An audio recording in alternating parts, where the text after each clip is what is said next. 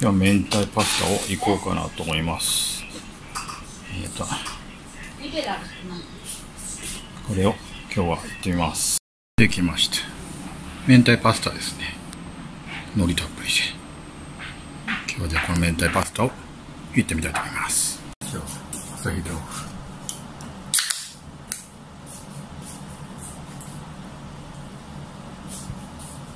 う。まいじゃあ明太パスタいきますうまいこれはうまいですよ。なんかピリ辛ですね。海苔たっぷりで。ホタテもね入れてあって。なかなか具だくさんなんですよ。やっぱりたらこよりも明太の方が何ですかねコクがあるというか味が強いですね。うまいな。これは日本人よく考えましたよ。最強のパスタじゃないですか。さにいきます。うまい。なかなか手軽にこんなうまくなるとは。今日も暑いですね。8月も後半なんですけど全然暑いですよ。午前中はちょっとね涼しい感じになってきたのかもしれないけど昼過ぎぐらいになってくるとやっ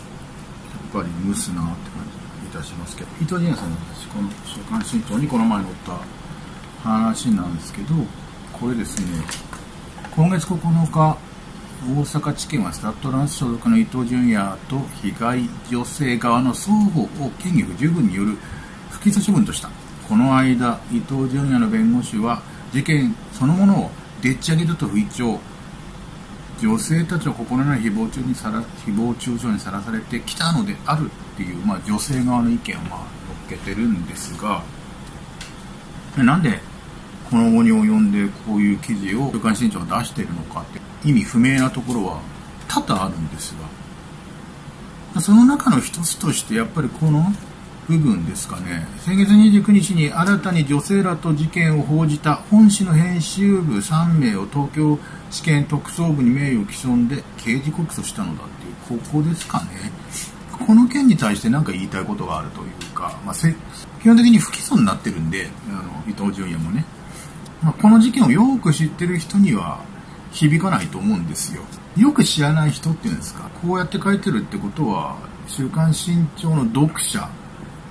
でよくサッカーのこと知らない人たちにアピールしたいのかなっていうふうに思う。あとまあもっと踏み込んで言うとこの伊藤純也側の加藤弁護士が刑事告訴したじゃないですか地検にね大阪。あ東京地検か。東京の方ですね。の検察に刑事告訴した。名誉毀損ですよね。同じように名誉毀損で刑事事件で告訴されるというか逮捕されたのっていうのがガーシーで、まあ、くしくも高橋弁護士なんですけど高橋弁護士はねガーシーがね執行猶予ついたんですね。でも実刑判決ですけどね。高橋弁護士はガーシーが執行猶予ついたんで実質無罪とかって喜んでましたが無罪ではないです。よ実刑ですからあの執行猶予が3年ぐらいついたんですかね。懲役5年とかな感じだと思うんですがまあ、そのガーシーと何が違うのかというと、やっぱガーシーの場合常習性があったということですね。まあ、しつこくしつこく綾野剛とかをディスってたというか、まあ、誹謗中傷してたと。まあ、ひどかったですけど、内容がね。まあ、大体下ネタばっかなんですけど、それで被害届出されたっていう話、3人ぐらい被害届出されたのか。ガーシーの方は警察が、それは常習性があるんで悪質だということで逮捕に至ったってことなんですけど、週刊新潮に関しては、まあ、あの一冊だけじゃないですか。まあ、なんだったら、ま、文春の松本人志だったりとかするともう何試合にもわたってやるわけですよ。ジャニーズだったりとか。それに比べると伊藤純也のこの記事っていうのは、まあ、一発のみだったんで、果たして刑事告訴でそういう起訴されるのかなというところはちょっとまだ疑問点はあるんですよね。まあ、通常名名誉毀損っていうのはあの民事でやるもんなんで東京地検の方でも検察の方でも民事でやってくださいって気持ちになるかもしれないそのなんかそういう話になるのかなとそもそもがその加藤弁護士は最初の時になぜ、えー、身長訴えないんですかっていう質問に対して身長も騙されてるんじゃないですかっていう話をしてたんで、その身長の思惑としては、多分これをバーッと読むと、そうだよねっていうところもある。騙されたっていうことを強調したかったのかなっていう。そういう話で持ってこられたんだもんというように取れるようなところもあるんですよ。取材ほぼしてないんですよ。誰々が言ったってことを全部やって、まあ、特に高橋弁護士が名前を堂々と書かれてるんですよね。本人がいいよって言ったのかどうか分かりませんが、今回はしっかりと女性側の弁護士は高橋由紀弁護士というふうに書いてやってるという部分と、あとまあ一つ一つの証言が、まあ、例えばこの上谷さくら弁護士でこの人全くこの事件に関係ないんだけどその人の引用とかを持ってくるんですよ、まあ、例えばですね女性側がジャージを着てホテルで寝ている動画の存在を明かしています証拠として。ですがそれはホテルの部屋に女性がいたことを示しますから女性側と何らかの接点があったことは間違いないでしょうっていうようなところを切り取って持ってきてるそういう話をね。これ何を言ってるのかというとそもそもが週刊新潮で書かれた証言を崩しにかかられたってことなわけですよね。週刊新潮は起きたらなんかねなんか服がまくし上げられておっぱいが出てたとかなんかそういう書き方をしてるんですよ。すごい状態だったみたい朝起きたみたいな。でもそんなの最初から嘘でしょと。だって寝てる姿ジャージで寝てるよねと。X さんが貸したジャージでずっと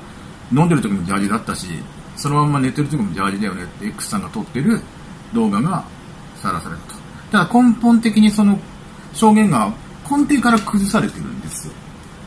で、それに対しての言い訳なんですよね。ジャージを着ててホテルで寝てる動画の存在が明かしてるんだが、でもホテルの部屋に女がいたことは一緒でしょと。何があるかわかんないよねっていうところを、こう、焦点をずらしてきてるのね。まくし上げられてる状態だったっていう風な証言を、堂々と週刊新潮書いたわけですから。でもそんな事実はなかったっていうことで、まあ要は、真実相当性みたいなのに相当欠けるじゃないですか。そういう証言って嘘なんだからっていう。そこをちょっと補正をしようとしてる感じが、いや、だだからってあんま関係ないよね、みたいな、ちょっと無理筋な言い方をしてるよね。ここら辺もですかね、あの、B 子が訴えてるところ。だからもう誰かの言葉にしてるんですよ、全部。身長が言う、えー、取材したんじゃなくて、誰かが言ってるから書いたっていうふうに持ってきたいんだろうなと思うんだけど、えーと、事情聴取の際に警察の方もおっしゃっていましたが、ここら辺は警察が言ってるよって話。伊藤側の女性加害がなかったと主張する論拠である。音声データ動画も、音声データも動画も何え何もなかったことの証拠にはならないと思います。っていう書き方をしてる。まあ、要はその後の音声データっていうのは、B 子が事務所の社長との会話、電話の会話かなんか録音されてたんでね、それが X さんが晒したっていうか、でも事務所の社長と X さんの間で和解ができて渡されたのかちょっとわかんないけど、最初の段階で B 子に話を聞いた時に、トレーナーさんとやったのかっていう話をしたら、やるはずない、やらない、ない、ない、ない、そんなの、みたいな感じの、全然ないみたいなことを言って、言ってたり、A 子が A 子はやられたのかみたいな感じで言ってたの。それもなんか言ってましたよね。いや、やられてませんよ、そんなのみたいなこと言ってるし、あの、最初の段階でもう否定してるその音声データがあるけど、それは証拠にはならないみたいなことをここで言ってる。でも証拠になったわけじゃないですか。証拠になったから不起訴になったんだと思うんですよね。あえてここで、警察はこれ証拠にならないよって言ってたよって、なんかね、ちょっとね、言い訳がましい言い方をして。で、まあ、あとは、まあ、そうね、A 子 B 子の言い分ってのが、要は誹謗中傷がひどいと。インターネットのね、自分らに対する誹謗中傷がひどいと。自分らが被害者なのに、みたいなことを延々と書かれる。まあでも、ね、そんなのね、誹謗中傷されるでしょうっていうふうには思いますけどね。でっち上げだったらね、加藤弁護士がでっち上げって言ってんだから、伊藤純也が抜けたせいで、これ伊藤純也だけの話じゃないですからね。もちろん伊藤純也に対しても、まあ、腹立たしい部分もある伊藤純也に対してこういうことを仕掛けたことが腹立たしい部分もあるけどこれ伊藤純也だけの問題じゃなくてアジアカップに言うと A 代表全体に対する問題なんですよあそこで無様な負け方あんな負け方をするなんてことはもうみじんも思ってなかったもう優勝すると思ってたわけですよそれなのに何をやらかしてくれてんねんっていう、もう伊藤純也の問題じゃない。何をぶち壊したんだよ、こいつらっていう怒りしかないのでっていう。別に僕だけじゃなくて、多くのそれを楽しみにした人たちからの怒りの誹謗中傷がこの人たちに言ってるんですよっていうことだと思いますよ。まあ、本当に被害者だったらね、それは最後まで戦ってくださいよと